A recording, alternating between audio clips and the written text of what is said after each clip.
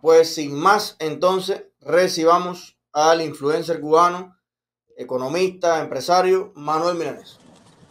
Hola, Eliezer, muchas gracias. Gracias por la invitación y, y discúlpame por los cuatro minutos de delay, ¿sabes? Teníamos otras cosas aquí en la familia y adapté todo para cumplirte a ti. Sí, pero bueno, me disculpo por la tardía. No te preocupes. Eh, Milanés, bueno, eh, sé que estás eh, camino a Miami, tienes una, un día planificado y esto está atravesado. Entonces, bueno, vamos a ir como dice el, como el dermatólogo. Eh, vamos, al, vamos al grano.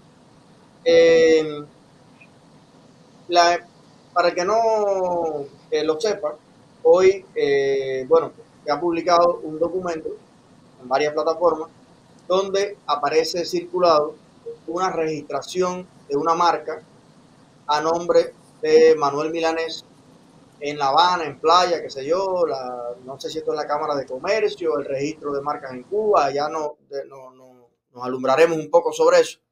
Y bueno, esto ha provocado que una cantidad notable de seguidores de nuestro programa eh, me llamaran, oye, ¿viste lo de Milanés? Ahora sí, de madre, tremendo, ¿cómo es posible esto? Ya. Eh, porque mucha gente eh, ha visto en el programa de Milanés eh, las denuncias precisamente a Catapult, a todas estas plataformas que, que hacen negocios con la dictadura y, eso sí se enriquecen del dolor del pueblo de Cuba. Y entonces, bueno, un señor en especial, que le comenté a Milanés, eh, que tiene 75 años, me, me, hizo tomar la decisión de llamar a Milanés, porque solo por él vale la pena eh, explicar este asunto.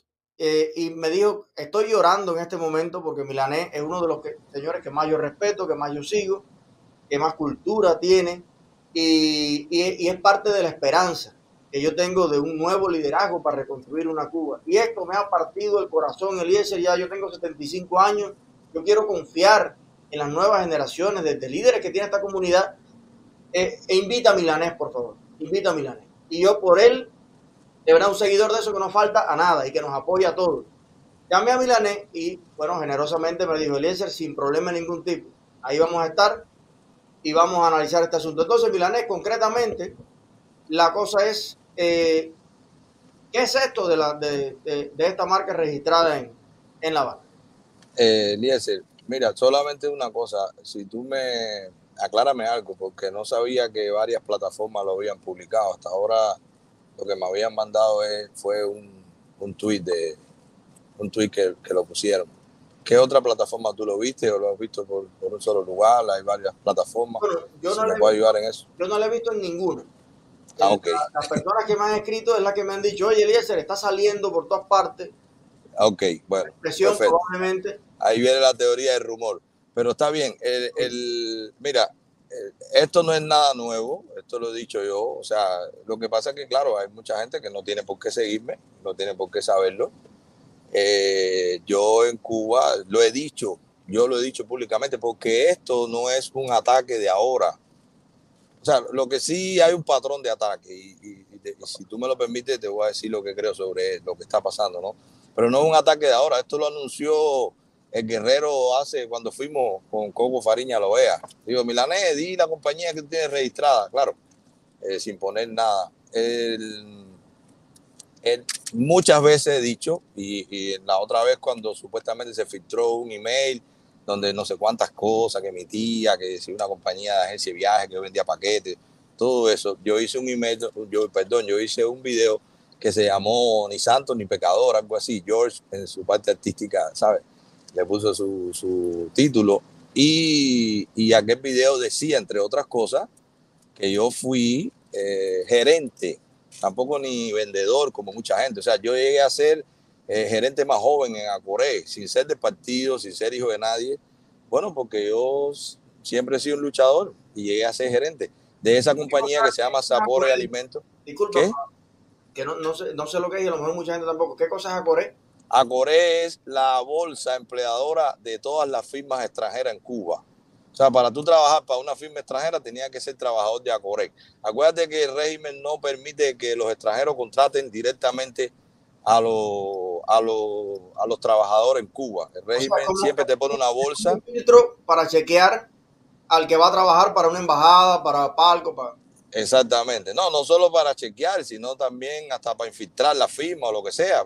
Pero en, en mi caso, los extranjeros fueron los que insistieron en que me querían a mí.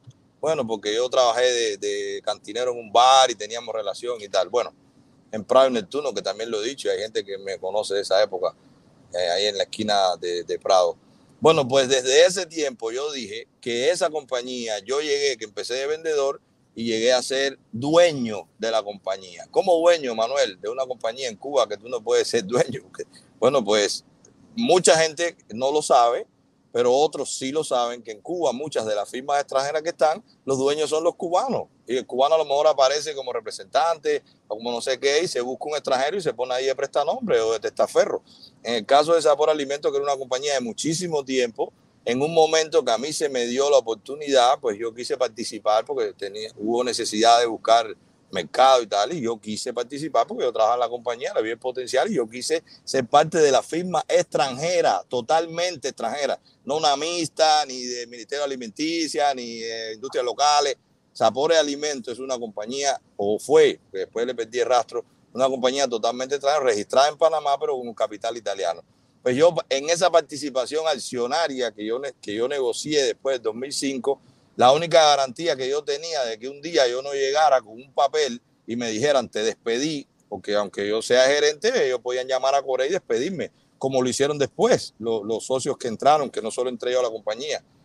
La única garantía que tenía era registrar a mi nombre el nombre comercial. Y ahí viene el primer detalle técnico que demuestra mucha ignorancia de quienes están haciendo la denuncia, manipulación por los que lo saben, pero ignorancia por los que la hacen y es que tener un nombre registrado, una marca comercial, no es tener una compañía.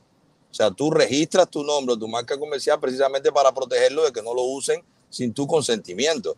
Entonces, imagínate tú si es un empresario fraude, no sé, Donald Trump, que supuestamente tenía registrado su marca Trump en casinos y tal en Cuba. O imagínate tú si es un empresario fraude, no sé, los lo, lo Fanjul, que seguramente tienen registrado su compañía de cuando eran dueños de, Central Azucarero no sé si hay contrapropista o alguien que en algún momento registró su negocio y lo puso en la ONAPI y después ya no lo utilizó.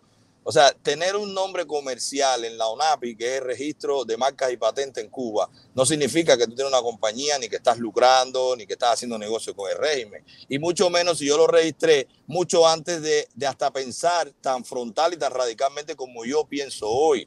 Porque hasta 2018, 2017, 2018, yo pensaba que también en Cuba se podía hacer algún tipo de negocio directo con los cubanos sin pasar por el régimen.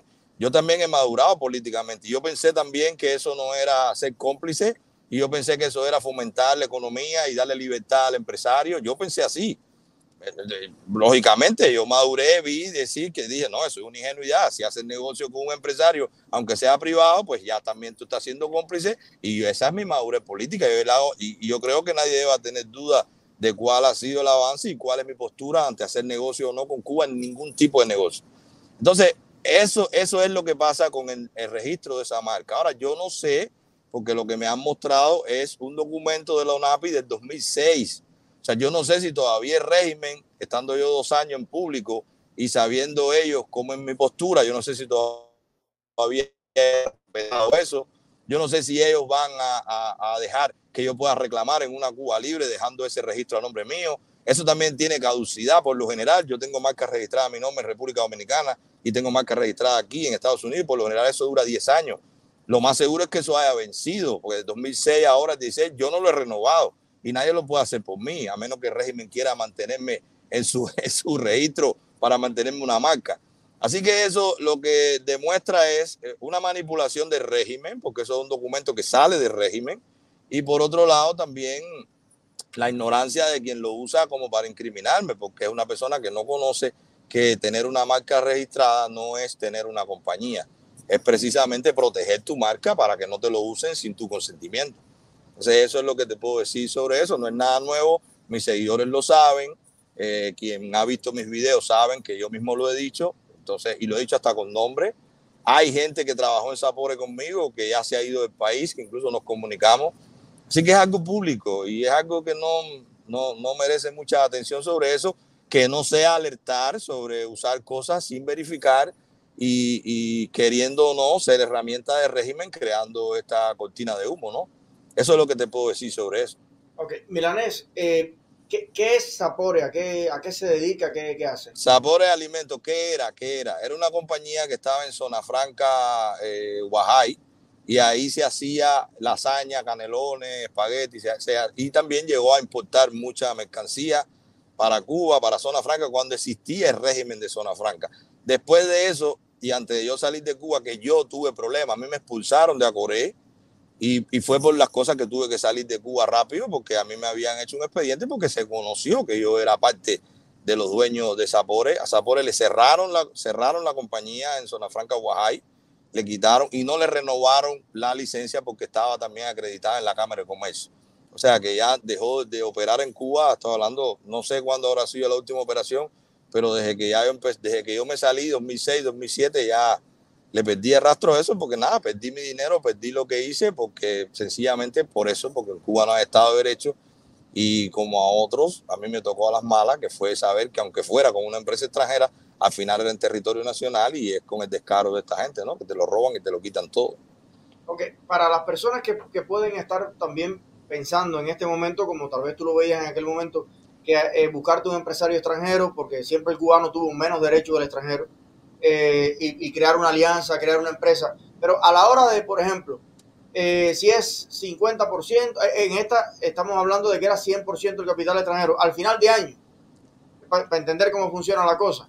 Entonces, si se vendieron 5 millones de dólares, a ti como dueño te dan 2 millones de dólares. ¿Cómo, cómo funciona? lógicamente, si tú eres socio de una compañía y tu participación accionaria representa una participación en los beneficios, pues de los beneficios tú tienes la misma porción que tú tengas en acciones. Lógico que sí. Y además, de verdad te lo digo, y te lo digo porque lo sé, lo sé, muchísimas de las firmas extranjeras que hoy operan en Cuba, los dueños son cubanos y han hecho arreglos fuera de Cuba y tienen su compañía registrada en Panamá, o en España o en otros lados, pero son compañías extranjeras. También hay muchos que están chantajeados porque le deben millones y hay muchos que desde aquella época era así. O sea, había un bar que era muy conocido, me parece que se llamaba El Amelia o algo así, que estaba en el Miramar Trading Center, ahí en el medio de las dos torres. Y ahí íbamos mucha gente que teníamos firma. Y algunos se sabía que eran dueños y otros no, o decían que era gerente. Pero el, cubano ha ido buscándole alternativas al régimen y de una forma o de otra, unos más cómplices, otros menos, ha penetrado también la firma extranjera y tienen acuerdos fuera de Cuba con los extranjeros y en Cuba aparece como que el extranjero es dueño y fuera de Cuba tienen acuerdos privados y el, cubano es dueño también. Bueno, de hecho, eh, cuando los famosos Panama Papers, eh, ahí salió Mariela Castro y varios nombres interesantes que esta es la manera predilecta de, digamos, los hijos de toda la nomenclatura. Exacto. el hijo de Eusebio Leal, recuerdo que está en tráfico de arte, todo, se busca un testaferro extranjero y bueno, eh, eh, funciona de esa manera. Por eso yo creo que es tan buena también un poco la, experiencia en ese sentido eh, de, de, ver cómo, cómo opera esto y me imagino que las directas, que no las he podido ver todas, pero veo algunas directas tuyas, habrás compartido un poco la, la, operación de cómo, cómo, cómo ocurre esto. Depende, depende de, del caso, Eliezer, porque también recuerda, porque no podemos medir a todo el mundo con la misma vara. Eh, está la operación de la forma de lavar dinero, que un hijo de un funcionario llama a un extranjero y ya viene con su contrato preestablecido, con su, por ejemplo, los hijos de Almeida, que en su momento hasta me llamaron a mí uno de ellos porque quería que yo participara en el negocio de, el negocio de las flores que se llama Ave del Paraíso. Son unas tiendas que hay en los aeropuertos y tal. Eso es de la mujer de Almeida. Y uno de los hijos de él era, era quien lo tenía con ella. Y también tenían campos de golf y tal. Entonces, una cosa es, una cosa es el empresario corrupto que es hijo de, de, o familiar del régimen y te llama con un contrato en la mano y busca un testaferro y hace un negocio, eso es lavado de dinero. Otra cosa es que un cubano que haya nacido en un solar, que no sea hijo de nadie, que no tenga apellido de nadie, que no sea partido, trabajando, partiendo brazos, ahorrando dinero, haya ahorrado dinero y le haya comprado participación a extranjeros que ya eran dueños de la compañía.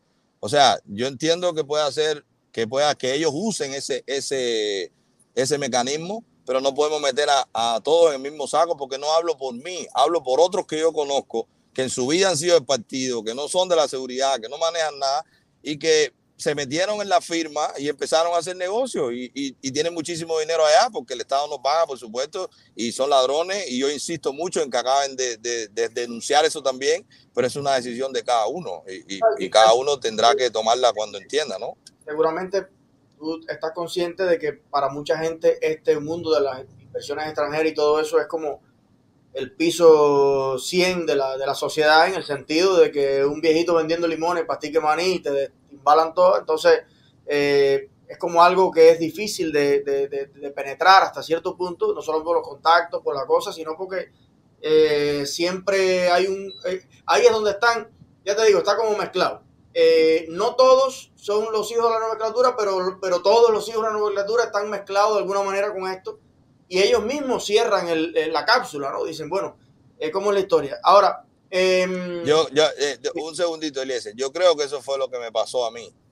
Ellos saben quién son y también yo creo que por eso es tan efectivo y por eso creo que también mi plataforma, eh, bueno, como, como todos los que estamos trabajando, recibimos ataques, pero en mi caso el ataque siempre va a ser de dinero y siempre va a ser de descrédito, tratar de vincularlo con ellos, porque porque ellos saben que yo conozco cómo funciona. Y cuando yo hago una denuncia, lo hago con nombre y apellido y lo hago con, con ejemplos que ellos saben que yo viví y que ellos saben que yo no administro, que, que, cada vez que se da una noticia, pues yo le doy el trasfondo y la gente por eso también conecta, porque escucha a alguien que sabe cómo funciona ese mecanismo. Y claro que sí, hay gente que lo ve como algo fuera, pero desde el primer video yo lo vengo diciendo, en Cuba hay dos economías paralelas Está la economía real, que es la que da billete, que por un lado están los que han logrado llegar ahí, corruptos o por su trabajo, y por otro lado están los bizneros, que no le dejan de llevar comida a su familia, pero está la otra economía, que es la economía real, la socialista, la que nadie tiene nada, la miseria, y esa es las empresas nacionales, ¿no? Sí, conviven las dos economías en Cuba. Y sí son temas importantes, interesantes, y que a la gente le atrae, y sí son temas neurálgicos para el cambio en Cuba, porque a ellos lo que más les duele es como dice el profesor Milei, el órgano del billete. Y por ahí hay que seguir atacando. Mira, eh, vamos a suponer que yo quiero poner o registrar, porque me, llamó mucho la atención el, el, tweet que pusiste sobre, eh, ok, yo tengo mi marca registrada en Cuba, la constitución del 40 me lo permite, y noté como que querías decir que era un paso de avance, eh, una bandera de avanzada para en un futuro poder eh, establecer o, el, negocio o lo que fuera. Yo quiero poner Avila Farm o Violet Board Rentals o Elisa Record, cualquiera de mis compañías la quiero registrar en Cuba. Eh, ¿Cómo se hace eso? No, no, Eliezer, lo que pasa, ese es el problema que tiene Twitter, que es muy difícil, creo que son 130, 140 caracteres eh, lograr plasmar la idea que tú quieres, o al menos que todo el mundo la, le llegue lo que tú quieres decir. No, no, para nada. En el Twitter lo que quise decir, con bastante sarcasmo, ironía, que yo creo que también nos hace falta, porque eh, hace falta también sarcasmo. Eh, lo que quise decir fue, primero, que a mí se me había olvidado que eso existía. Yo no cuento con eso, pero no es que yo no cuente con la marca de Sapores. Yo no cuento tampoco con las cosas que yo dejé en Cuba, yo dejé muebles, yo dejé casa, a mí, no me fueron y me lo quitaron, pero yo me fui y lo tuve que abandonar porque si regresaba tenía problemas. Así que eh, eh, eh, lo que yo quise decir en el Twitter, bueno, te digo como lo escribí, fue precisamente primero diciendo que gracias por recordarme lo que yo ni me acordaba que eso existía. Segundo, diciendo que sí, que sí es una marca que está registrada y si, y si se queda ahí, ¿verdad? Si ellos lo dejan, pues yo sí la puedo, yo sí la puedo reclamar cuando Cuba sea libre y puedo hacer lo que quiera. Y ahí es donde nombro la condición del 40, porque en mi opinión Cuba va a ser libre cuando se restituya. Entonces, cuando se restituya la condición del 40, yo tendré todo el marco jurídico para hacer lo que me gana con la marca mía. O sea, ese fue el sentido de mi Twitter. No pensando, no, el sentido para nada fue decir que ya yo tengo un paso adelante porque tengo algo registrado, ¿me entiendes? No, no, ese no es mi sentido. Ahora, que tú quieras registrar algo en la ONAPI, no lo sé. Yo en aquel momento fui en mi carácter de gerente de sabores y alimentos, tenía la capacidad legal porque yo era gerente y representante legal de la compañía ante, ante ACOREC, ante, ante la Cámara de Comercio, Pues entonces yo tenía la capacidad de llegar a la ONAPI y presentarle toda la documentación, un logo, una marca, tal, el objetivo, el objeto social, no sé qué, y ellos lo registran, como hacen los cuentapropistas ahora. Casi todas las MIPIME, todo eso, uno de los pasos es registrar la marca en ONAPI, porque es uno de los pasos para tú tener, dar fe que algo es tuyo, es registrar tu nombre y tu marca comercial. Me imagino que desde que tú pongas, si es el caso tuyo, que tú dices, en la web. No sé si lo dejan hacer ya online. En República Dominicana se puede hacer online y tú lo pagas con tarjeta. No sé si Cuba estará, estará tan abierto. Me imagino que ellos con sus filtros te obligarán a ir ahí. Entonces, en el caso tuyo, no sé cómo tú te la arreglarías, como ir o que ellos no se den cuenta que eres tú. No sé si el régimen te aceptaría. Yo estoy seguro que yo mañana hago el intento de registrar una marca y no me lo van a permitir. Pero no lo sé, es especulativo.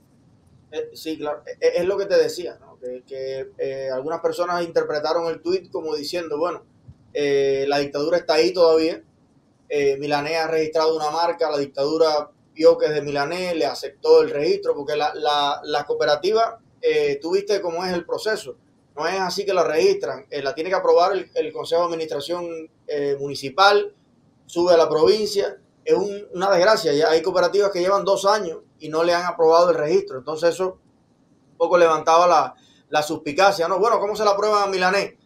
Eh, Pero es que, Eliezer, la persona que piense así o está sugestionado y Milanés no le cae bien o no lee bien, porque lo registré en el 2006. En el 2006 Milanés no era el Milanés que es hoy. En el 2006 Milanés era gerente de una compañía extranjera en Cuba que ante la Cámara de Comercio era el representante legal. Yo firmaba cheques, yo pagaba nómina, yo compraba contenedores fuera, yo viajaba a comprar afuera. O sea, no, no, eh, hay que poner las cosas en su contexto. En ese contexto del 2006, cuando yo registré esa marca, era conmigo que se podía registrar, no con otra persona. A mí no me podían decir que no, porque si no era quitarme los poderes por lo que Acore cobraba por mí 1.800 dólares mensuales. Entonces, no sé, 1.800, no me acuerdo, casi 2.000 dólares mensuales cobraba por mí, algo así, que lo pagaba yo mismo a Coré como compañía extranjera. Así que hay mucha manipulación, hay mucha gente que yo no le caigo bien, que está en todo su derecho, y cualquier cosa que aparezca de Milán. Ah, mira, te lo dije.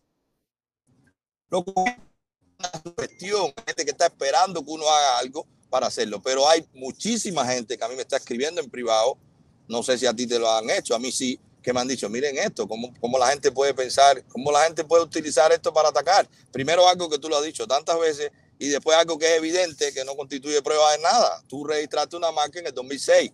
Si la marca todavía está ahí, cuando Cuba sea libre, avalado por el, por el marco legal y constitucional de la Constitución del 40, voy a abrir mi cadena de restaurantes a pobre alimento con una fábrica de lasaña, como lo va a hacer Tron y va a hacer sus casinos y sus hoteles.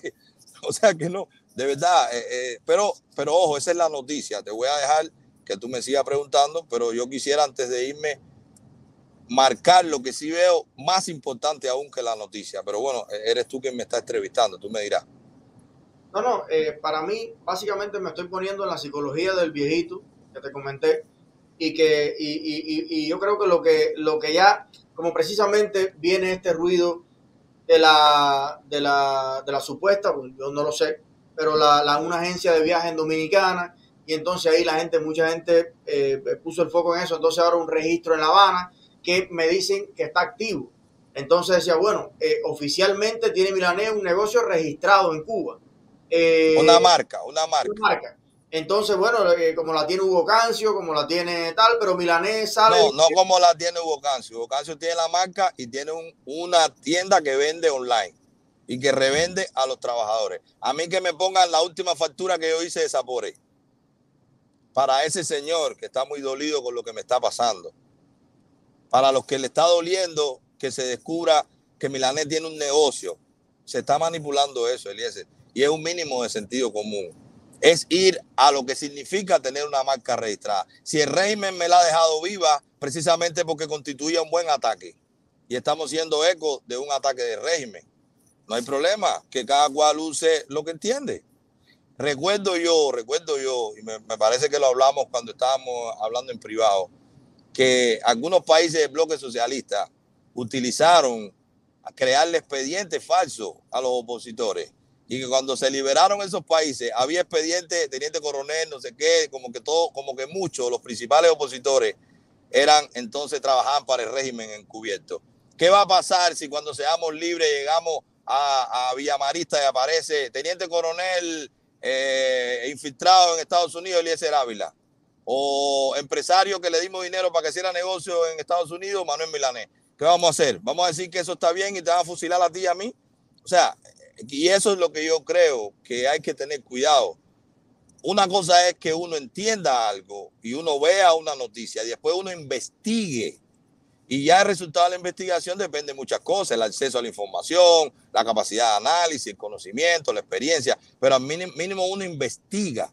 Pero otra cosa es dar fe y avalar un documento que es un registro del régimen cubano sin investigar y sin mirar, porque tú me dices que te están diciendo que está activo. Pues la persona que te está diciendo que está activo ahí por directo, a mí me gustaría que, me, que nada, que me diera esa información a mí, como lo estás haciendo tú, que me estás invitando para que lo hablemos. Entonces hay una intención en probar que lo que dice régimen es verdad. Entonces cuando ya la intención es probar que lo que dice régimen es verdad, se acaba la buena fe. Hay un adversario que está intencionalmente tratando de probar que yo tengo un vínculo con el régimen. Entonces, nada, eso, eso, eso le toca a él que lo pruebe.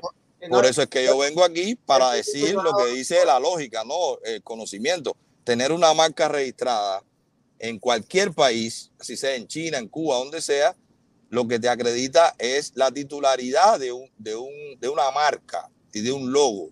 Pero no te dice que tú tienes un negocio en Cuba operando, ni que tú estás haciendo como Hugo Cancio, porque me lo has mencionado varias veces, y es casi como ponerme al lado, o igual ahorita con, con Mariela Castro, nada que ver ni con, ni con la gente del régimen que utiliza una empresa extranjera para lavar dinero y nada que ver con Hugo Cancio que utiliza eh, eh, la desgracia del cubano para poner un supermercado en online. Eso no tiene nada que ver con tener una marca registrada en eh, ONAPI desde el 2006, que además yo lo he dicho varias veces, y que no tiene un negocio funcionando. Si no existiera, ¿dónde está Zapore abierto? ¿En qué oficina está? esas mismas personas que están dando tanta información y que están tan al día de que está activo, debieran mostrar fotos, imágenes, facturas de dónde está Sabor Alimento, qué está haciendo ahora en Cuba, cuántas lasañas vendió ayer. Entonces, eh, eh, eh, ahí hay que tener un poco de cuidado en esas cosas. Em, bueno, e, esto que mencionabas de, los falsos expedientes clásicos, yo lo vi cuando fui al Museo de la Stasi. Em, que incluso están los testimonios de un teniente coronel del Stasi que él, decía eso, que una acción, cuando ya se vieron que iban a caer eh, para joderle la vida a sus enemigos, era que le hacían como unos expedientes para, eso. Ahora, para aclarar, en este caso, eh, la marca sí es tuya, o sea, no es que, no es que esto es falso. No, no, no, no. Además, yo lo digo que yo la registré. O sea, yo no, yo no estoy diciéndole a la gente que yo no registré y que es mentira, no. Yo estoy diciendo a la gente que yo lo registré, que yo soy ese Manuel Milanés. Igual que pusieron un teléfono. Ese era mi celular cuando yo vivía en Cuba. Cuando uno se va de Cuba, o al menos eso lo hice yo, cuando tú te vas, le dejas tu teléfono a otra gente, porque en aquel momento era un problema sacar una línea nueva. Ya yo la tenía, se la dejé a otra persona. ¿Quién se lo deja? Mi hermana, Maylin Milanés, ahí lo dice. Ahora decir, Manuel Milanés tiene un teléfono en Cuba. O sea, es, es el, la manipulación de las personas, de, es pensar que quien te escucha o quien te ve no tiene sentido, de, sentido común, o sea, no tiene capacidad de razonar y de evaluar. Eh, eh, si, si era un teléfono a nombre mío, es muy fácil. Si hay esa comunicación con el guerrero, porque él fue el que anunció por primera vez que iba a decir que una compañía estaba a mi nombre y ahora después sale por una plataforma que supuestamente hace lo mismo que nosotros, pues entonces si hay esa comunicación directa con el guerrero, con pedirle al guerrero las últimas facturas de Tensa, de cuántas llamadas tiene ese teléfono a mí en, Estados Unidos, ya lo tiene para ver si hay relación o no con, ese teléfono. Eh, yo te agradezco muchísimo el, tema porque yo creo que esto es algo que, que, debías responder tú y es algo que yo eh, evito hacer responder preguntas que no, que no son para mí. O sea, eh, porque uno puede cometer el, error de crear una respuesta, pero yo no, no quería crearme una respuesta, porque es, un tema que honestamente yo no lo, no lo domino y no sé. Y por eso te agradezco que a, los seguidores que estaban preocupados por este asunto, tú le des tu respuesta, que lo convence o no lo convence, o que tal, pero eso es lo que responde Milanés al, al, exacto, exacto, exacto, la verdad es una sola. No, no, no, tú puedes convencer o no, pero esa es la verdad. Después de la interpretación. Eh, hay algo que, de todas maneras no quería, no quería en un inicio eh, eh, tratar, pero creo que vale la pena mencionar porque luego de la entrevista contigo voy a dar mi opinión al respecto. Y bueno, te comentaba que a mí me interesa en este programa sentarme en el, en el tema, no necesariamente en las personas. Yo no tengo ningún problema con ninguna persona, ni lo tengo contigo, ni lo tengo con Otaola, ni lo tengo con nadie. Yo creo que lo importante aquí son los temas. Y, eh, y es bueno que nosotros debatamos y, vayamos al fondo de los temas, de las propuestas, de las cosas que se hacen, porque esa es la democracia y ese es el debate público. Entonces, hay un, hay un tema que, que, me mencionabas y es que había como una curiosidad de que hasta ayer, eh, por los últimos 48 a 72 horas, ha estado muy en boga el debate sobre el plebiscito. Eh, tú has dado tu opinión sobre el plebiscito, otras personas lo han dado. Yo creo que esto sí ha sido bastante multiplataforma. Hay gente que le ve cosas a favor, hay gente que lo ve fuera de lugar. Eh, pero me decía que eh, había alguna curiosidad de coincidencia que en el punto álgido de ese debate salía este documento. ¿Tú le ves alguna relación a ese asunto? No, mira, yo, yo, yo en mi opinión, es un patrón. Recuerdo la vez pasada cuando hablaron, que también tú ahorita hablaste de una agencia de viaje. Kenia Tour se llama, y es la viaje de mi esposa, creada hace 40 años. O sea, yo tenía 10 años cuando, cuando se hizo esa, esa, esa compañía. Que me muestren una sola persona que haya comprado un boleto a Cuba en esa agencia. O que me muestre una sola persona que haya comprado una recarga o haya mandado un paquete por esa agencia. Entonces, este mecanismo de la seguridad del Estado, de tira lodo, tira lodo, que algo queda, porque eso es un mecanismo de la seguridad del Estado, ya es un patrón. Cuando surgió aquel email que era súper eh, eh, hecho por un servidor encriptado y que se lo habían enviado todos los influencers a la vez y que algunos tomaron unos meses de hablar, no se ha mostrado una sola prueba. Eso pasó cuando yo estuve o cuando yo di mi opinión a la Cruz Blanca 8 de septiembre por la por, porque si por la Virgen, porque no sé qué, después que ya habíamos ido 60 mil personas o 50 mil o los que fuéramos y no sabía nada, porque todavía estamos esperando que algo se haya logrado.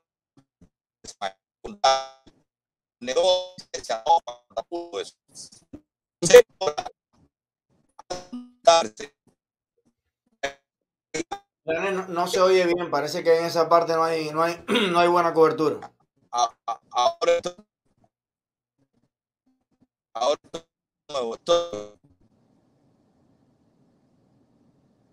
ya estoy de nuevo, ¿estoy o me fui?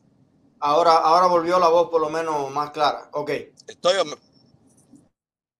si, puedes eh, repetir la última. ahora sí. Sí, ahora mejor. Ajá, si puedes repetir la última parte con el tema de la vez anterior O sea, la vez anterior, la vez todo el ataque, plataforma, investigar, sin mostrar una prueba, sin, sin tener nada, porque alguien le mandó un correo. Un correo además encriptado y el mismo correo que he dicho por ellos es que se ha utilizado para hacer denuncias o para hacer, sí, denuncias sobre opositores dentro de Cuba. Entonces le damos eco a un correo que no tiene ni, ni origen, ni se sabe quién es, ni nadie lo firma, para entonces lanzar todas esas calumnias, todas esas mentiras. No hay problema, pero aquello fue después de mi opinión sobre que no era producente seguir convocando a manifestaciones después del 11 de julio frente a la Casa Blanca, cuando lo que hacía la administración Biden era utilizar esas manifestaciones para hacer totalmente lo contrario a lo que nosotros queríamos. Nosotros fuimos manifestaciones y lo que hacía, lo que hizo el, eh, el Estado fue recibir a Medea Benjamin y a profesores. Nosotros fuimos manifestaciones y en vez de dar internet gratis, le dan una licencia a Hugo Cancio para cada negocio en Etelsa. O sea, ya todo el mundo sabe eso, eso es trigo molido.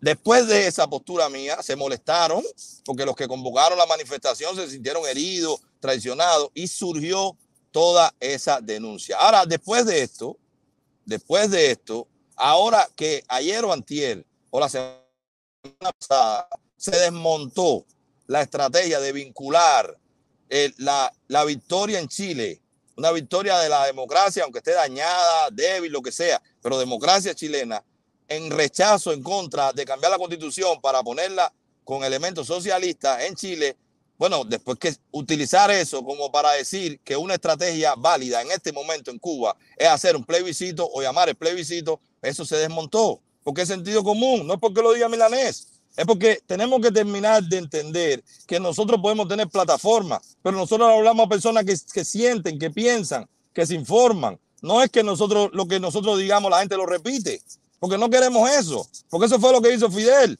Se llamaba y la gente le puso se llamaba paredón y la gente gritaba paredón, el socialismo y la gente gritaba socialismo.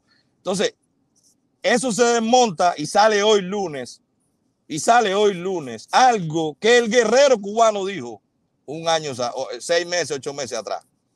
Entonces, hay un vínculo, hay un patrón, molesta, molesta que nosotros denunciemos o que nosotros nos opongamos a iniciativa que nada personal, pero que entendemos que perder tiempo eh, eh, es, puede ser algo que utilice el régimen para tener una salida con amnistía, quedándose ahí la familia rica, Birmania, ya, ya todos esos ejemplos lo hemos evaluado. Entonces yo sí lo veo como un patrón, porque no es casual, no es normal, es una cortina de humo que está tratando de ocultar lo que todo el mundo vio la semana pasada, que el plebiscito no es momento para hacerlo, no hay condición en Cuba para hacerlo y que si, y que si él, la contesta a eso o la defensa ante mi crítica es que el plebiscito es una herramienta más para después que seamos libres y a lo mejor no hace falta, pues ya ahí estamos de acuerdo.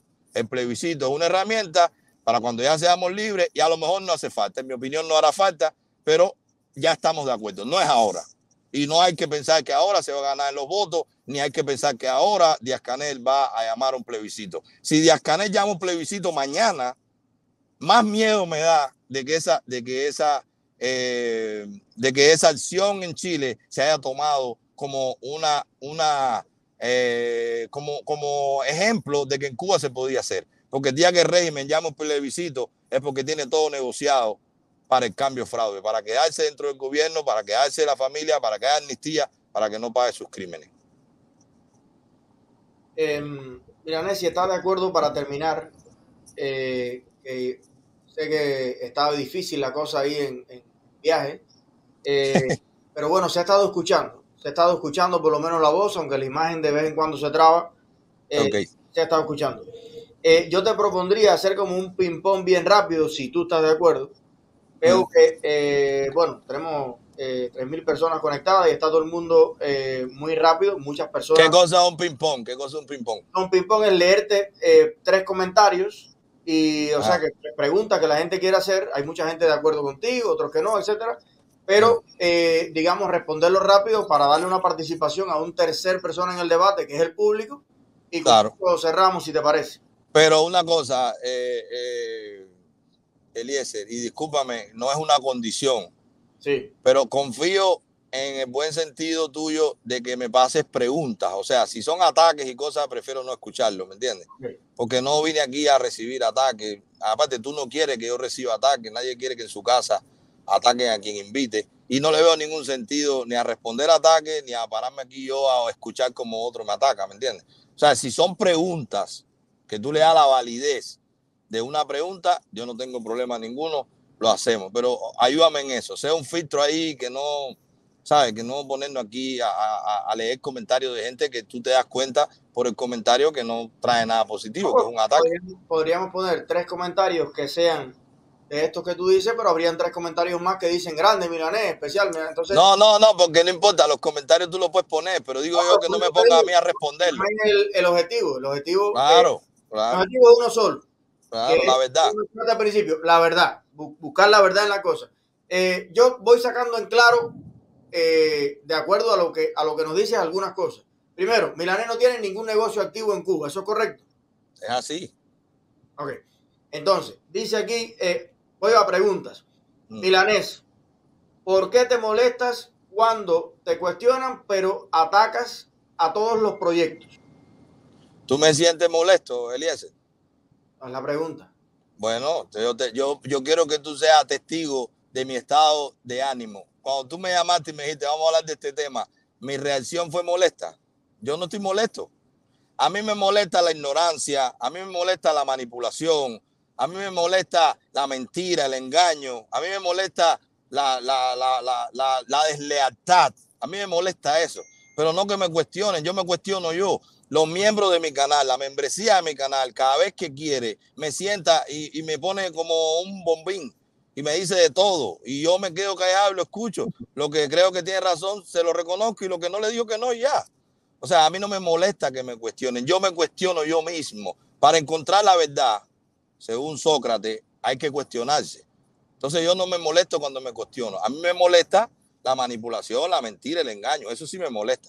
Así que si, si me han visto un poquito eh, iracundo, es porque estoy pensando qué se traen quienes lo hacen. Porque yo entiendo que el régimen lo quiera, pero que venga de gente que supuestamente queremos lo mismo. No es lo mismo reaccionar a lo que yo diga a lo que dice el régimen que yo hago. Otra pregunta. Otra pregunta. Eh, Milanés, pareciera que estás en contra del plebiscito, pero he visto videos en los que no estás totalmente en contra del plebiscito. ¿Estás o no estás en contra?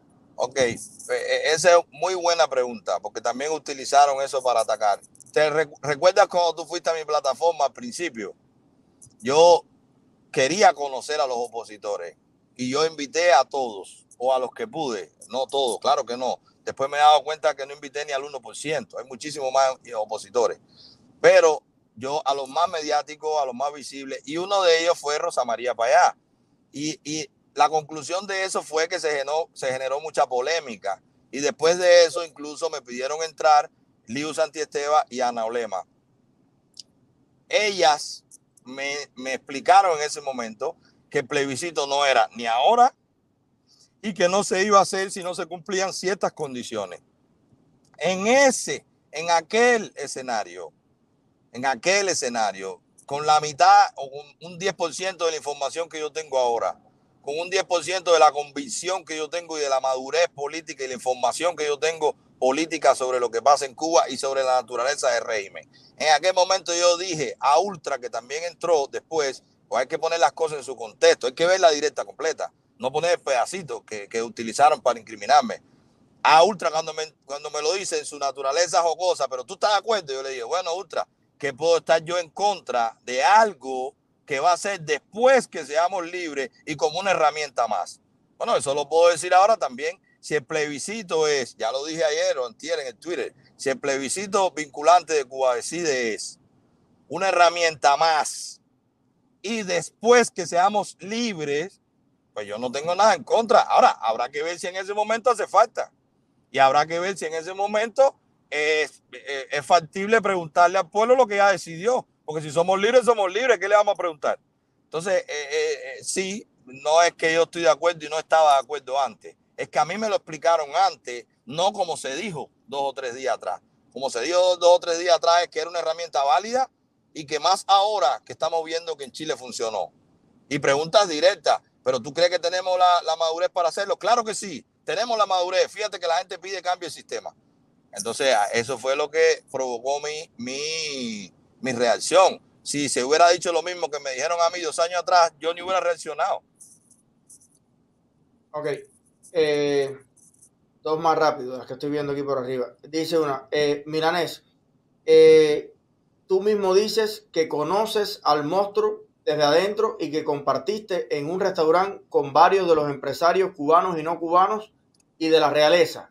¿Por qué no cuentas todo lo que sabes de cómo se mueve el billete ahí adentro?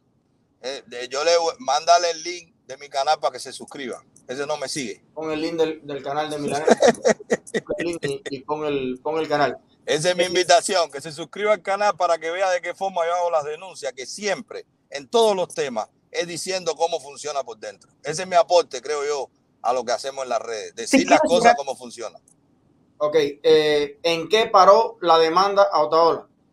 Yo no le he hecho ninguna demanda a Otaola, nunca. Quien diga eso está mintiendo. Nunca. A Otaola le dije yo que parara. Y en privado, mi abogado con las abogadas de Otaola tomaron la decisión, o se acordó en privado ellos como abogados, acordaron que él no iba a hablar más de mí, yo no iba a hablar más de él. Lógicamente, él lo violó de nuevo, pero yo todavía sigo pensando, porque yo sí voy a demandar cuando, cuando lo encuentre, porque está escondido, está corriendo a lazo. Pero yo sigo pensando, aún y, con esto que está pasando, yo sigo pensando que Otaola tiene cosas que está haciendo en contra del régimen. Entonces, mientras hay alguien que está haciendo cosas en contra del régimen, mi demanda puede esperar. Ahora, igual la constitución del 40 permite que yo lo demande, porque ese crimen no prescribe, ¿no? Ojalá sea rápido, a lo mejor en ese momento decido demandarlo por difamación, porque ha difamado, ha difamado. Ok. Eh, Ok, entonces, bueno, gracias por venir, eh, gracias por responder, Milanés. Eh, bueno, me pasan muy, muy rápido y casi no me da tiempo de, leer. Eh, un último mensaje, Milanés, que, que, quieras, que quieras dejar. Bueno, mi mensaje te lo voy a dar a ti. Te quiero agradecer porque yo sé que no eres la única persona que, has eh, visto esto, en que tu reacción haya sido invitarme. Te lo agradezco, me parece muy bien.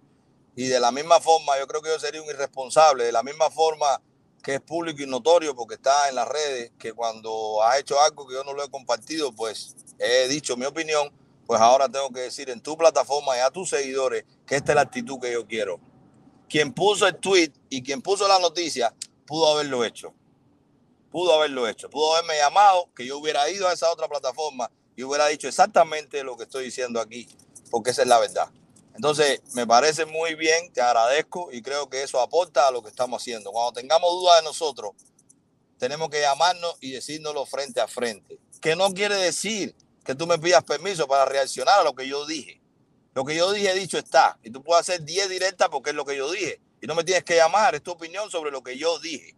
Ahora, si a, ti, si a mí me mandan una foto mañana, a ti, con Sandro Castro al lado, tú puedes estar seguro que te la voy a mandar y te voy a decir, te voy a invitar para que hablemos de esto, como hiciste tú hoy. Entonces, te agradezco, Eliezer. Yo creo que esto es lo que construye y yo creo que esto es esa unidad que la gente tanto está hablando, que tú y yo podamos tener diferencias, pero que cuando pasan estas cosas las dudas se, aclaran frente a frente. Y tú no me estás orando la píldora, tú me estás haciendo las preguntas que tú, que tú entiendes y con la rigidez que tú entiendes tu canal. Pero aquí estoy yo diciendo la verdad y eso es lo que tenemos que hacer. Así que gracias por eso y gracias a tus seguidores y a los míos que sé que también están ahí. Eh, sí voy a hacer un llamado, que esto no se convierta en una pelea de seguidores. No se puede convertir en una pelea de seguidores. Que esto no sea algo que decepcione a nadie y que tampoco nadie siga a hombre. No hay que seguir a hombre, todos los hombres decepcionan. Nosotros somos una porquería, todo. El ser humano es una porquería. No sigamos hombres, sigamos a Dios, que es el único que no decepciona a nadie. Gracias, Eliezer, de verdad, por, por invitarme. Y nada, cualquier cosa, tú tienes mi teléfono. Estamos al habla. Oye, gracias por venir. Y bueno, mi, mi punto en esto es que yo creo que vale mucho la confianza de la gente porque son 63 años de frustración. y es muy difícil confiar en alguien. Eh, obviamente las ideas eh, son las que hay que seguir, pero las ideas no andan solas por ahí. Las ideas existen, se crean y se divulgan en la, en, la mente de las personas. Y lo que más fuerza le da una idea, a mi juicio, es aquello que los viejos decían, que es que eh, predicar con el ejemplo, ¿no? Vale, vale más la coherencia y el ejemplo. Uno puede decir lo que le da la gana, pero eh, eh, es, importante. Estamos llamando en este momento y era lo que a mí me preocupaba. Y lo estamos haciendo, y lo digo de todo corazón, ahora mismo cualquier trapicheo, desde una chancleta a una libre café, además, eh, y tú has sido de los más recios en eso, con la dictadura, es darle oxígeno, es darle vida a eso, y el cubano está plantado. El cubano está eso. Entonces, a mí, de cierta manera, me, me duele que se cree una percepción eh, de que uno está diciendo una cosa y está haciendo otra. Porque esa doble moral es la que nos tiene a los cubanos hecho mierda, hecho tierra. Hay que hacer y decir lo que uno piensa. Yo cuando tenía 14 años, a mí me preguntaban, yo quería ser escolta comandante. Y en ese momento, si me hubieran dado una KM, yo me paraba allí, porque yo no conocía otra mujer que no fuera esa. A mí me, nací, me montaron en ese tren y me dijeron, oye, es por aquí. Yo no sabía ni que en el mundo había gente que no era comunista. No me lo hubiera imaginado, sin internet y nada. Mis abuelos lo eran, mis tíos lo eran, todo el mundo lo era. Ahora, cuando ya yo abrí los ojos, y sobre todo viajé y salí de Cuba, como tú has ido a Panamá, a otros lados, y has visto cómo se mueve el mundo de verdad y cómo no hace falta tener un primo coronel para tener una vida digna y un negocio que valga la pena. Yo soy de los que creo que en nuestra plataforma eh, la gente tiene que sentir confianza. Esto es un valor importantísimo. O sea, eh, la confianza es para vender un producto, para lo que sea. Yo compro una Nike porque confío en que me van a durar y en que es verdad, y que esto no es... Las ideas se venden también y las vende la, confianza. Y cuando yo vi esta mañana esto, me pareció que lo más digno en pos de la transparencia no era, digamos, ponerme a hacer una disertación sobre el tema. Puedo estar de acuerdo o en desacuerdo contigo en muchos temas, en, plebiscitos o en, lo, que sea. Que ahorita voy a hablar de mi posición sobre los, plebiscitos en general, incluso los que hacen los comunistas también. Pero yo creo que esto tiene que ser así. O sea, a cara descubierta y a, y, y a tirarlo para adelante. Ya le queda a la persona sacar su propia conclusión. Pero por eso siempre te voy a llamar igual y te voy a hacer la pregunta que me hizo como digo, el viejito, que no es más que para muestra un botón, pero me dijo, compadre, me duele esto, porque yo sigo a Milanés, yo veo su directa, y entonces, mi hermano, ¿en quién confiamos? Y eso de verdad, yo creo que, es digno de, explicar las cosas. Pero Eliezer, un, segundito, perdón. Eh, eh, eh, mira, tú has puesto un excelente punto y yo creo que nos tiene que llevar a pensar a todos y es el siguiente. Así como tú querías ser escolta de Fidel cuando niño, yo quería ser millonario en Cuba en el 2006 y yo pensaba que podía hacerlo con una compañía extranjera. Donde está la irresponsabilidad es en usar una información del 2006 para hacer un vínculo con una persona hoy, 16 años después. ¿Cuántas parejas tiene una persona en 16 años? ¿Cuántas cosas uno hace en 16 años? Entonces ahí está la irresponsabilidad. Sí, el llamado está a la coherencia, yo la tengo.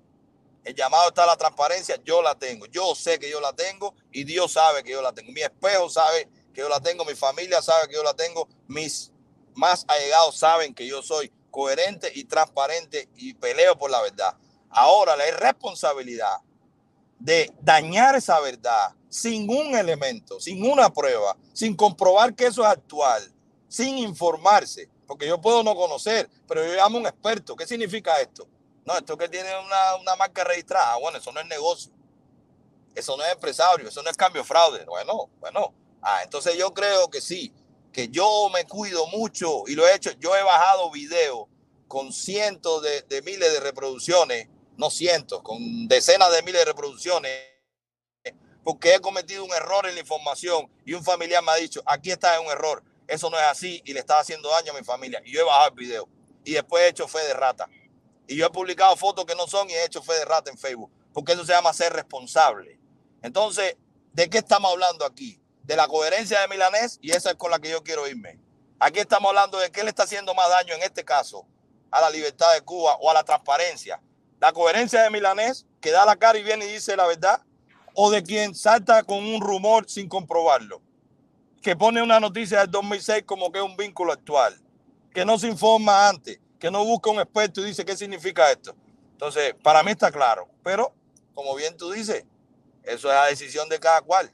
la gente entenderá quién está haciendo bien y quién está haciendo mal, o quién tiene que corregirse y quién no. Que, lo, que nosotros seamos adversarios no se convierta eso en que a todas, a todas yo tengo que dañar tu credibilidad.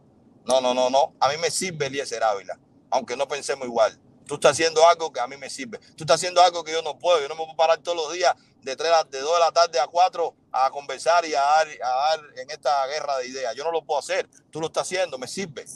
Entonces, eh, hay que, eh, eso hay que evaluarlo. Que tengamos, que seamos adversarios, no significa la guerra sucia de sacar cosas que no están probadas o cosas sacarle contexto o, o cosas traerle a la actualidad que fueron 16 años atrás. Entonces, eh, yo creo que ahí es que debiéramos, bueno, en todo caso yo invito, no yo creo, yo invito a que la gente reflexione sobre eso.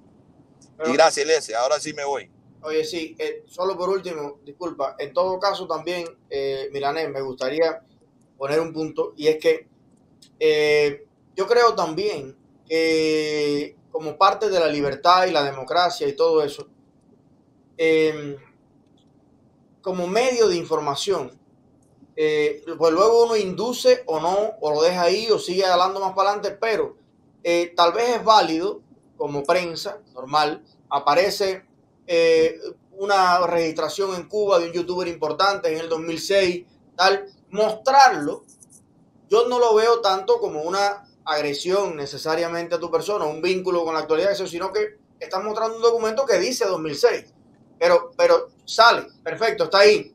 Ahora, la conclusión o digestión que haga cada cual, como tú mencionabas, dependiendo del que sepa de negocio o el que tal, de la, de la cuestión, pero encuentro válido también el hecho de, que nos acostumbremos a una sociedad que, va a ser la Cuba del futuro, en el que si al presidente del país eh, le encuentran una cuenta en Suiza de en el 80, bueno, si es que le están sacando el saludo que hizo la reina Isabel a los siete años,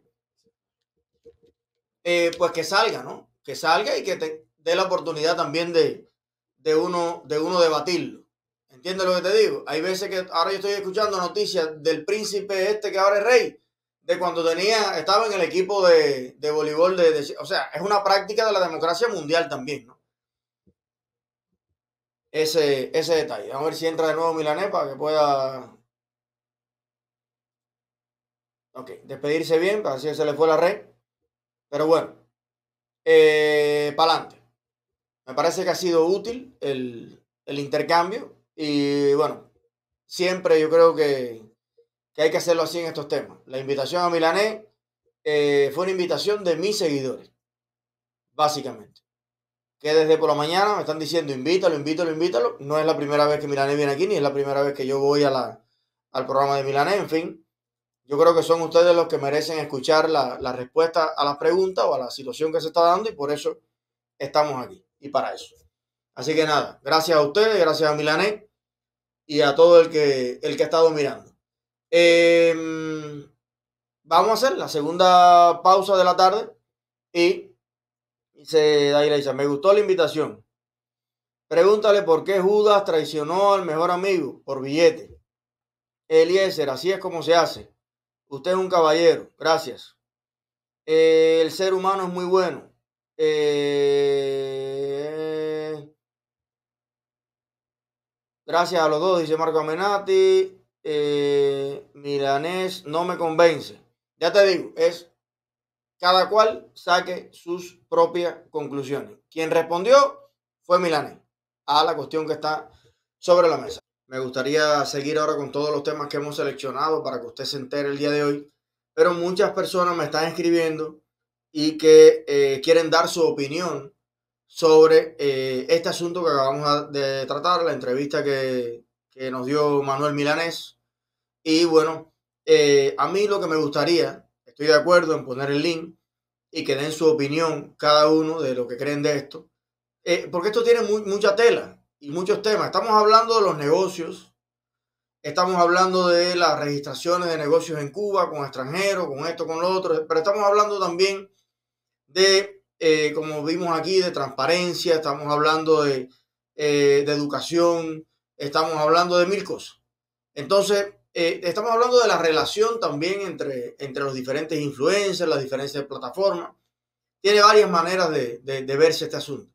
Y si usted quiere dar su opinión sobre eso, siempre hemos sido, no, no de hoy, lo más democrático que podemos en esta, en esta plataforma y no vamos a dejar de serlo.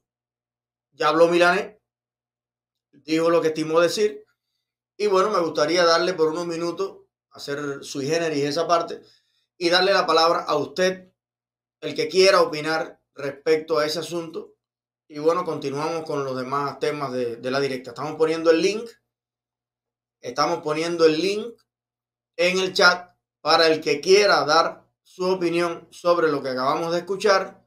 pues lo pueda, lo pueda hacer. Bien, ahí está.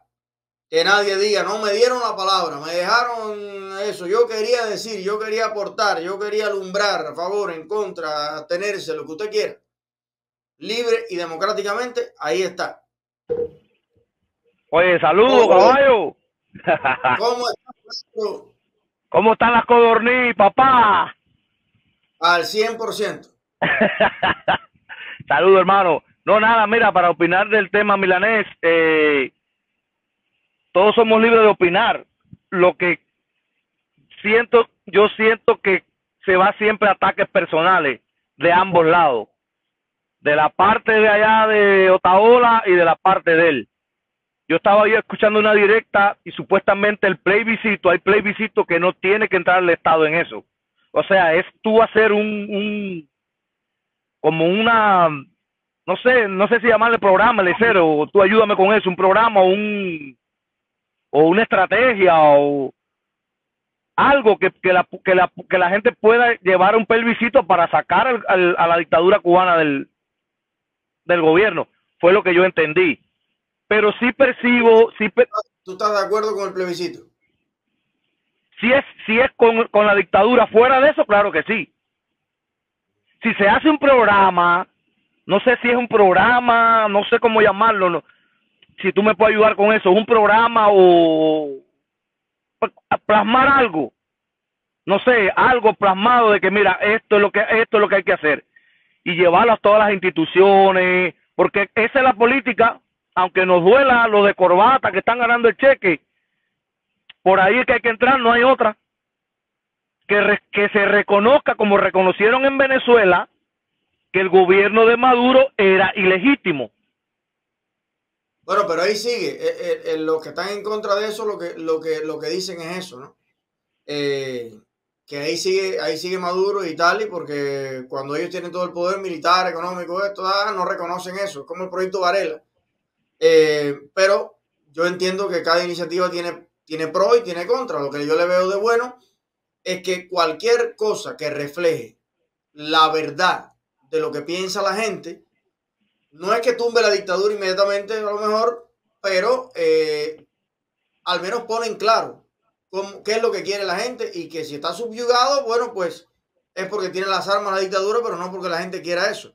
Eh, pero, pero entiendo los temores también del que, del que lo ve prematuro o, ve que no es el momento. O sea, yo, yo, por lo, yo por lo que entiendo, el ser es, el temor es que se cuele la dictadura en eso, como que la dictadura participe en el plebiscito. Es, el temor que yo veo de Milanés o de que no esté de acuerdo. Pero hasta donde yo entendí era supuestamente sin participación de la dictadura. Hasta donde yo entendí. Porque todos los proyectos son metodológicos. No, no hay nada. Es una vez más demostrar que hay una dictadura. Una vez más demostrarle que los cubanos no tenemos derecho a nada. Una vez más demostrarle que que Cuba es para los extranjeros, que uno no tiene derecho absolutamente a nada. Como pasó con Catapult, con el anuncio que hizo esta muchacha, vendiendo cosas, que si merienda, cómo Cancio puede hacer cosas y tú y yo no podemos mandar un tractor a un primo mío que vive en el campo. a mí, es que esa es la, cosa, ¿no? Y, le preguntaba a Milanés por eso, bueno, yo le explico, en aquel momento él estaba allí. Ahora, yo le mandé dos pomos de vitamina a mis abuelos con Amauri y le prohibieron a Mauri 20 años entrar a Cuba por llevarle dos pomos de alfa, esa, la cosa que toman las la, viejas. Exacto, exacto. Yo mañana voy a registrar una empresa allí, imagínate tú. Gracias, maestro. Oye, te quiero y sigue para adelante, compadre. Mira, métele. Oye, y el 21 los dos cumplimos años juntos. ¡Echa, felicidades! Dale, papá, cuídate. Abrazo. Un abrazo.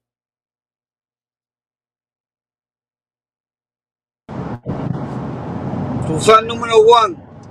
Oye, saludos, le deseo a ti a tu familia. Oye, eh, quería que, quedara bien claro a todos nosotros. Eh, quería decirte que, que esto del plebiscito, lo que lo quería hacer para allá, también, con gobierno sin gobierno es un éxito lo que pase. con gobierno es más diferente, porque el gobierno es un poco hace todo lo posible por, por hacerlo perderla a uno. Pero sabe, ellos están convencidos que van a perder. ¿Qué te iba a decir? Eh, yo creo que sí, que hay que tratar de darle, darle, darle camino a eso. ¿Tú me entiendes? Y otra cosa que quería que sí, para decírselo a todos, es que tú tienes más, más talento económicamente como, como negociante que como, que como político, para que la gente sepa que tú te sacrificas también por el pueblo de Cuba, que es lo que yo creo. Y por eso siempre te digo, y te lo vuelvo a repetir, veo algo en Mantí en ti. Que Dios te bendiga, estoy trabajando. Dios te bendiga. Voy ahí que ya el gringo te está agitando y dale. Haciendo Uber ahí, entrando a la directa y el gringo, oye, el left, ya- ya, no me mareé. Un abrazo, seguimos. Oh, dímelo, hermano, ¿me escuchas bien? Sí, ¿qué te pareció todo? Ah, no, eh, como todo, eh, Eliezer, tú sabes que los comunistas, que no son comunistas, que son oportunistas todos, ellos son, como dicen los americanos, nasty, son asquerosos, son corruptos y descarados. Ellos, mientras ellos, pues, ellos puedan desmoralizarte a ti, a mí, a Milanés, en el caso Milanés, mientras ellos pueden desmoralizarlo con cualquier cosa, tan sencilla como que una noviecita tuvo y que él la dejó y que la embarazó, cualquier invento que puedan hacerle a él, eh, ellos lo van a hacer. Para mí, Manuel Melanés es una persona excelente, no lo conozco en persona, pero, pero sí, yo estoy de acuerdo con él y yo coincido que es un plan macabro y entiendo que él se sienta incómodo porque qué van a hacer o qué, cuál es el próximo paso con eso, ¿me entendiste? Eso es todo. Pero yo sí, yo sí le creo, sí le creo, ahí estoy de acuerdo contigo que cuando, cuando se caiga la dictadura, porque se va a caer, eh, que sí, el que tenga 40 mil dólares en el banco o 100 mil, yo estoy de acuerdo que, que lo tenga que declarar, como es aquí en Estados Unidos, para que no digan después, oye, ven acá, yo no saco los 40 mil dólares. Los tenía desde antes, ¿me entendiste? ¿Y dónde los tenía? Yo, míralo aquí, ¿me entiendes? Ya, para, para que las cosas eh, sean transparentes. Eh, nada, brother, te dejo para que te entre otra persona. Nos vemos pronto. Estoy, estoy llegando a Miami, pero tengo que ir y virar urgentemente, ¿entiendes? Por aquí, por Fort. No puedo, no puedo llegar hasta verte, bro. Estoy cor- corriendo. Gracias, mi hermano, abrazo. El gran marero, el mejor técnico de esquí del Ejército Libertador. Vamos a darle, corre, a ver si hacemos un poquito de directa. Dime, jefe. Oye, un saludo ahí para toda la audiencia ahí, para ti en especial y mi hermano. Gracias, mi hermano. Oye, bonito, bonito. En mi opinión, eh, yo no le creo porque en el 2006 eh, para hacer una empresa en Cuba era muy difícil. Y si no tenía buenas relaciones y no tenía vínculo con ellos, para crear una empresa así era bien difícil, por eso yo no le creo nada. Para mí lo único que dijo cierto fue que, que creamos en Dios, sí, todo el mundo tenemos que creer en Dios, no en los hombres. Él hace muy buen trabajo hoy por hoy, pero si se equivocó en aquel momento, él tenía que haber dicho, oye, yo me equivoqué en aquel momento. Yo metí la pata. No que traté de buscar dinero, no que metí cabeza, no, no, no. Yo metí la pata y yo, mira, él es una persona pública, tiene que ponerlo ahí y ya, más nada. Cuando tú fuiste a la juventud, tú lo dijiste, oye, yo fui de la juventud. ¿Verdad o mentira? Más nada que eso. Esa es mi opinión, mi hermano. Un Oye, saludo un para todos ¿Desde dónde nos ves? aquí en Miami. Miami en la casa. Abrazo, maestro. Dale, mi hermano. Tiene pinta de artista ahí nuestro, nuestro seguidor. Mario, ¿qué dice? Mario, pon la cámara. Oh, bueno, tengo para ti. Ok, ahora sí. Dímelo, Eliezer. Saludos ahí para toda la gente que Bien, está mirando la, la directa. Eh, óyeme, no, mi opinión mayormente es que eh, entiendo los dos puntos el del plebiscito y yo, eh, personalmente estoy de acuerdo con que se haga un plebiscito, no coincido con Milanés en que, en que eso sea una cosa que se tiene que hacer o que la tiene que convocar el, el presidente del país, se lo puede convocar cualquiera, eso es una, eh, tanto que nos gusta la democracia, pero a la hora de, de, ser democrático, pues le ponemos, nosotros mismos nos ponemos el, el, el stop. Yo lo que le quería más bien como que, que, que dejar caer ahí, porque yo vi a Manuel Milanés como que diciendo que, que, los ataques y que lo, que lo están queriendo vincular, pero eh, a la hora de, hacer estas cosas creo que, le falta coherencia, porque lo primero que él hizo fue atacar el plebiscito diciendo que iba a ser un, cambio fraude, entonces por esa parte creo que hace falta de los dos lados, tanto de, de un lado como del otro, tratar de no, de no, como es, de no, de no llevar las cosas a plano personal, a acusaciones sin, sin, sin, ver, sin base. Como mismo lo están acusando de que tenga, yo no creo que tenga ningún vínculo con, con la dictadura cubana, pero ya a la hora de que llevamos esto al plano personal, de que no, que te quiero vincular con, con este y, el otro, y él también queriendo vincular al otro lado con, lo otro, pues entonces lamentablemente caemos en esto. A ti te puede no gustar una idea y das tu opinión acerca de la idea. Yo donde veo la, que la cosa se tuerce es a la hora de que queremos acusar aquí. Y por los dos lados, los, dos, los, dos, los dos lo han hecho. Gracias, Mario. Abrazo grande.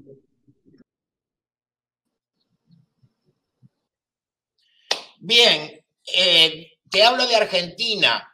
Echa Argentina en la casa. Welcome.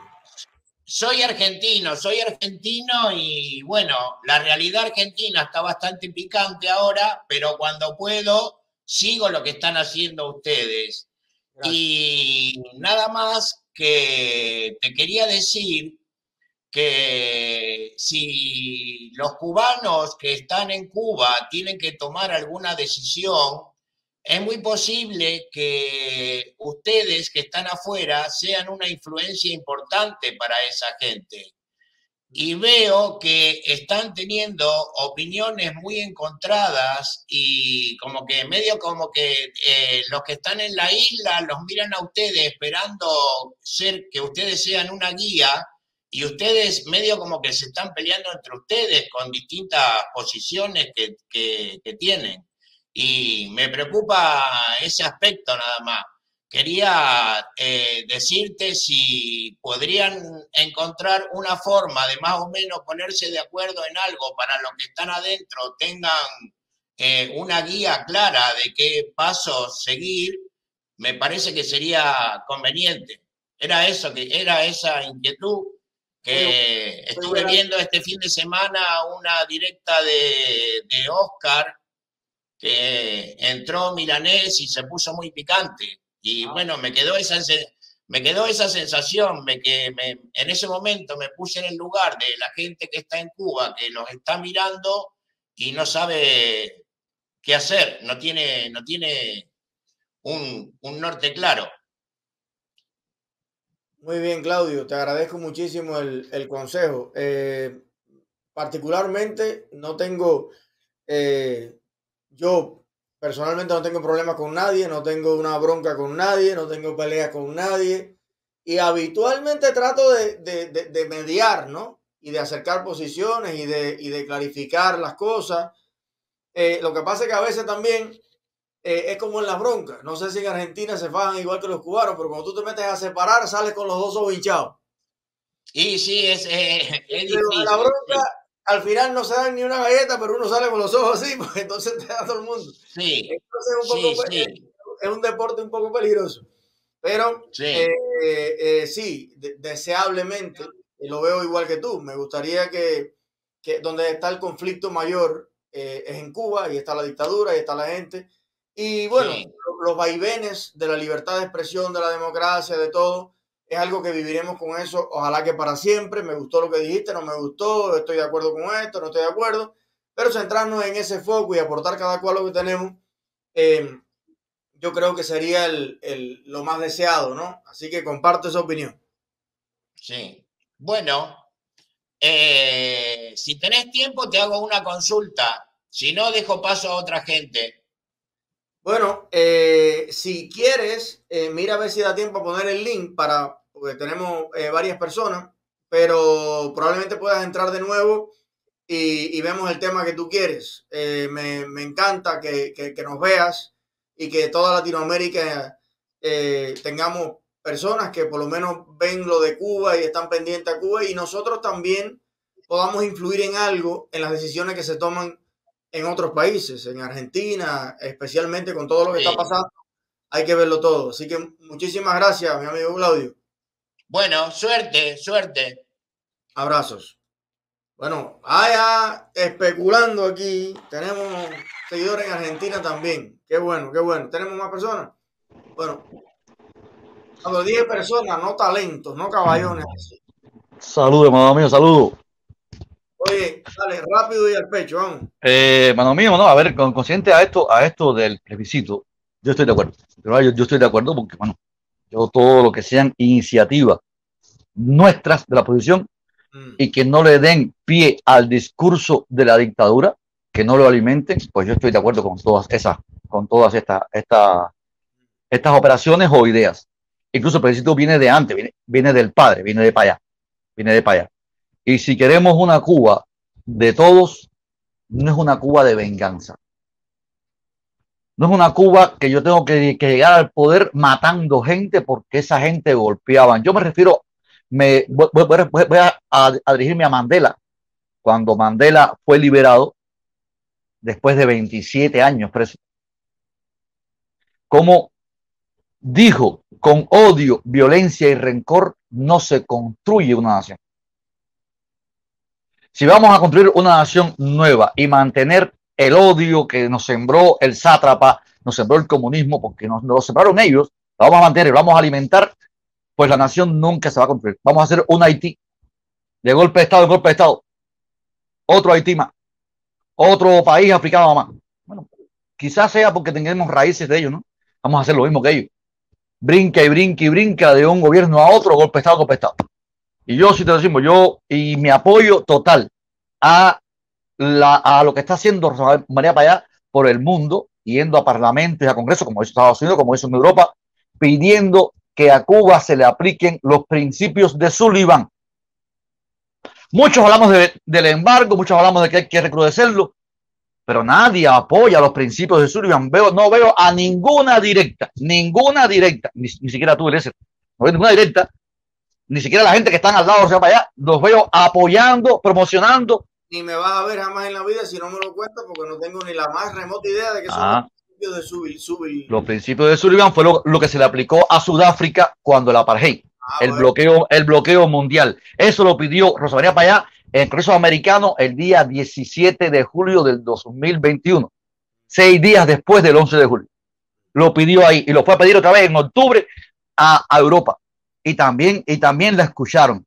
Si no, si no, si, porque el, embargo es una política de Estados Unidos, por lo que ocurrió con los, los ciudadanos americanos en Cuba, política a la cual los ciudadanos cubanos, que también fueron expropiados, se unieron, pues también a mí me jodieron, se unieron.